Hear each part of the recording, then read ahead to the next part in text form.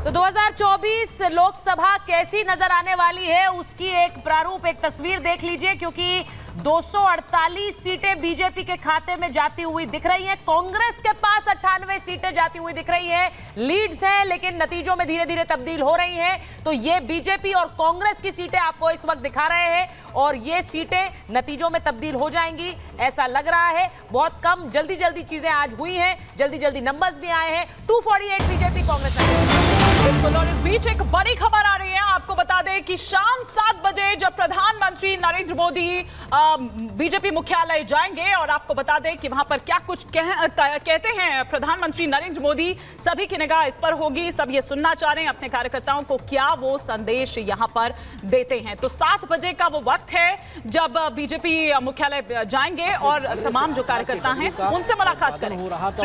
बिल्कुल तो बड़ी खबर आपको लगातार बता रहे हैं कि कार्यकर्ताओं को संबोधित भी करेंगे प्रधानमंत्री नरेंद्र मोदी और तमाम खास मेहमान हमारे साथ लगातार बने हुए हैं। पुष्पेंद्र जी, सबकी निगाहें, हम सभी की पूरे देश की निगाहें आज टिकी हैं कि जब प्रधानमंत्री पहुँचेंगे तो आज आखिरकार वो संबोधित जब करेंगे तो क्या बोलेंगे? ये सबकी निगाहें इस बात पर टिकी हुई हैं, क्योंकि जिस तरीके के मैंडेट की बात लगातार बीजेपी यहाँ करती आई थी, पूरे चुनाव में हमने देखा था कि एक वो नारा 400 पार का, जो सबको रट गया था, और विपक्ष भी बार बार उसी का ज़िक्र कर रहा था। आखिरकार प्रधानमंत्री क्या कहते हैं?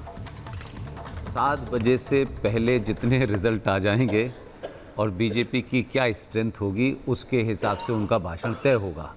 अभी कुछ भी पहले से तय नहीं है।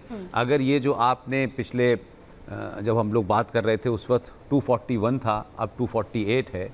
और ये जैसे ही 72 कवर होगा वैसे ही उनकी भाषा डायलॉग उनकी तमाम बदल जाएगा। बदल जाएगी। इसलिए अभी ये कह कोई कह दे कि नरेंद्र मोदी जी ये बोलने वाले हैं वो मैं नहीं मानता क्योंकि वहाँ जा कर के ऑलमोस्ट सारी चीज़ें क्लियर हो जाएँगी उसी पर उनका भाषण होगा। और उसमें उनकी टोन फिर साथियों के प्रति भी ज़्यादा होगी सब सबको मिल के ले जाने वाली बात होगी वो बहुत कुछ बातें ऐसे कहेंगे लेकिन अभी आंकड़ों पर तय होगा कि हम्म। उनका क्या बोलना है। लेकिन प्रीति जी देखिए ये अभी भी जो आंकड़ा सामने आया है ये तब आया है जब बीजेपी ने साम दाम दंड भेद मतलब कुछ नहीं छोड़ा फिर वो चाल चरित्र चेहरे की भी बात कर ले क्योंकि कहा कि इस पार वाले तो सब इस पार आ गए मतलब कुछ भी नहीं छोड़ा गया तब ये आए हैं। हिमानी जी बिल्कुल साफ़ है।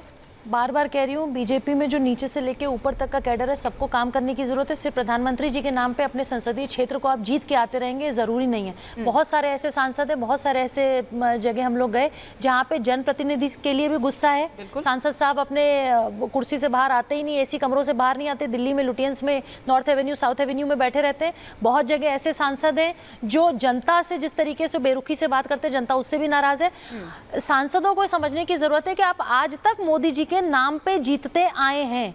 सबसे ज़्यादा शर्म तो अयोध्या वाली जो आप न्यूज़ दिखा रही हो उस पर आ रही है। देखिए राम जी की नगरी जहाँ पे ढंग का रेलवे स्टेशन नहीं हुआ करता था वहाँ पे वर्ल्ड क्लास एयरपोर्ट है वर्ल्ड क्लास रेलवे स्टेशन है इतने सारे बड़े बड़े बिज़नेस हाउसेज वहाँ पे होटल बना रहे हैं गेस्ट हाउस बना रहे हैं सुविधाएँ लेके आ रही हैं। सुबह जब सबसे पहले बैलेट बॉक्स खुलता है और सबसे पहले वहाँ की गिनती होती है अयोध्या तो मुझे लगता है कि सबसे पहले जीत जाना चाहिए था।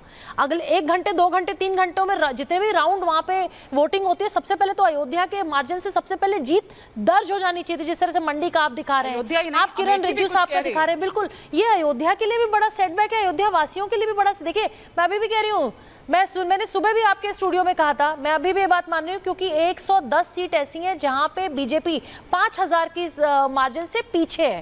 तो शाम को पाँच बजे सात बजे तक 20 30 40 50 सीट हम्म। जीत जाएगी बीजेपी ये भी कोई बहुत बड़ी बात नहीं होगी। हम्म। मैं अभी भी 350 के आसपास का आंकड़ा लेके बैठ रही हूँ। लेकिन लोगों को ये समझने की ज़रूरत है कि सिर्फ़ मोदी जी काम नहीं करेंगे अट्ठारह घंटे हम्म। सांसदों को भी आठ घंटे काम करने की ज़रूरत है।